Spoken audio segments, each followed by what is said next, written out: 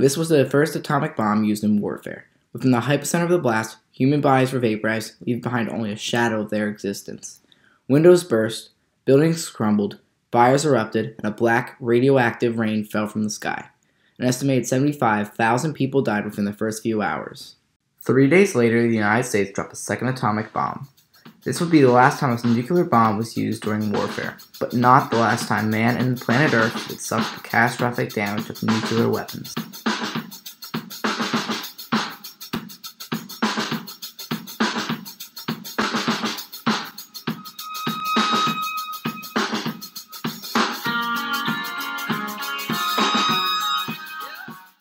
The two atomic bombs dropped on Japan led to their surrender on September 2, 1945.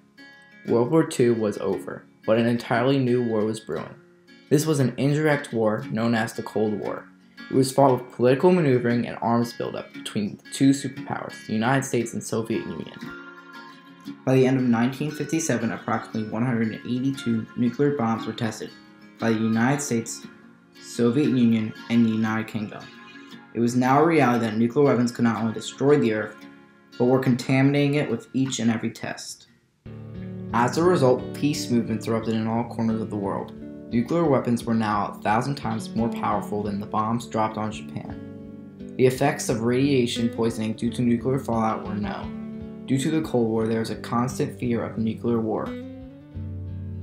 The Campaign for Nuclear Disarmament, or the CND, was one of these peace movements. They held their first official meeting in England on February 17, 1958.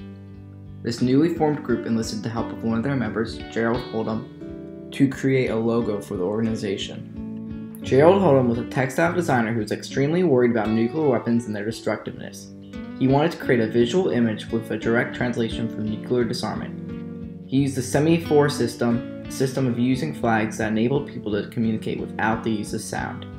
He overlaid the N and the D surrounded by a circle symbolizing the Earth. The peace sign was born.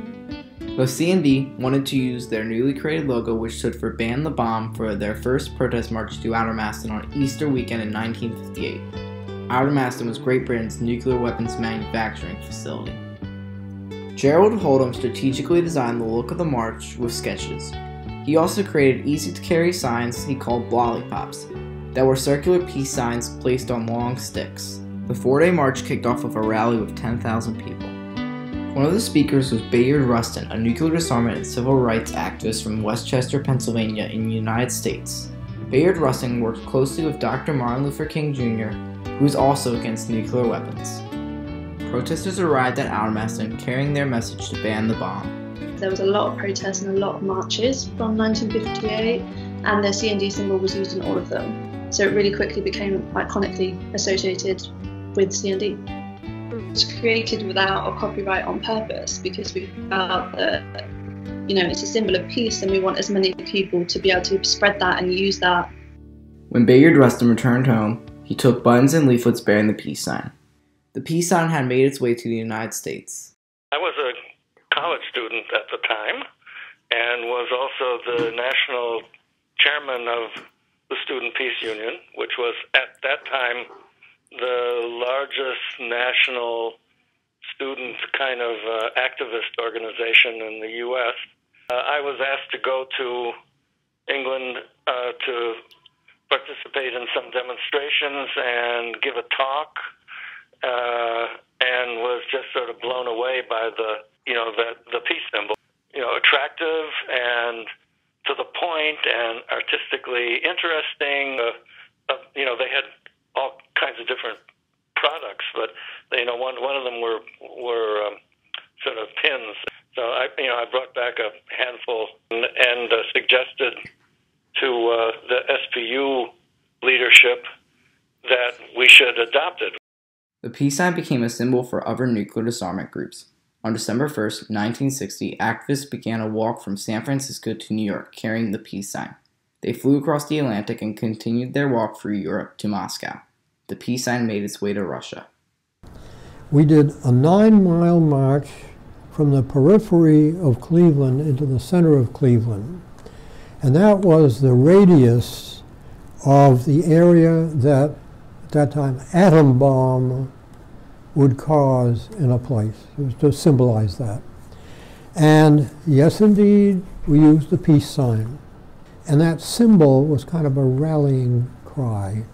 So it was a way of showing where you sat, either in bumper stickers or decal in the window or carrying a sign in a parade. So it definitely has a function. And it helps to kind of identify people who are with other people.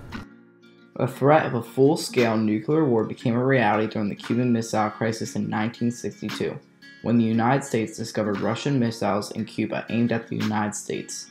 This led to a 13 day standoff between the United States and Russia that ended through diplomatic negotiations. Fear of nuclear weapons also touched the lives of school aged children with bomb drills called Duck and Cover. Children were also asked to donate their baby teeth to the St. Louis Baby Tooth Survey. Findings showed levels of strontium 90 in their teeth. This is a radioactive isotope extremely dangerous to growing children and is believed to cause bone cancer and leukemia. Nuclear disarmament groups in several countries use these findings to put pressure on the governments to ban atmospheric testing, which produced radioactive fallout contaminating the food supply. Band together, using the peace sign as their empowerment, activists were finally heard. This led to a major triumph, the Partial Test Ban Treaty in August 1963 banning nuclear weapons in the atmosphere, outer space, and underwater. At the time when President Kennedy signed the bill, approximately 600 nuclear bombs had been detonated. The peace sign took on new life in the mid 60s in the United States with protests of the Vietnam War. This led to a landmark Supreme Court decision called Tinker v. Des Moines, which ruled in favor of freedom of speech in public schools. Mary Beth Tinker and a few of her students were suspended from school for wearing black armbands in protest of the Vietnam War the peace sign back in 1965 when I wore a black armband to school, my brother made me a necklace with a peace sign. And to me, it meant that we want peace in the world. We don't want war.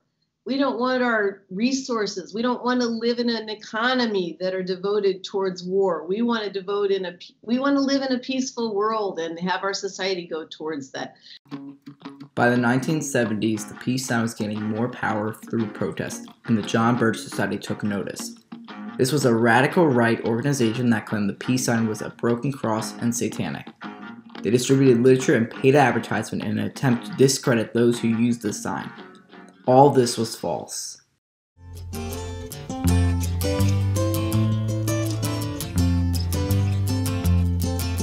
Now I've been happy lately thinking about the good things to come.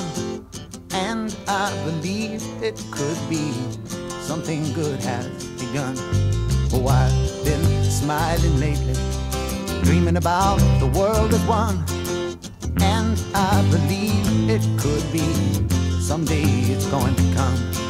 Cause out on the edge of darkness, there rides a peace train. Oh, peace train, take this country take me home again. I've been smiling lately, thinking about the good things to come. And I believe it could be something good has begun. Oh, peace train sounding louder. Ride on the peace train. Come on, the peace train.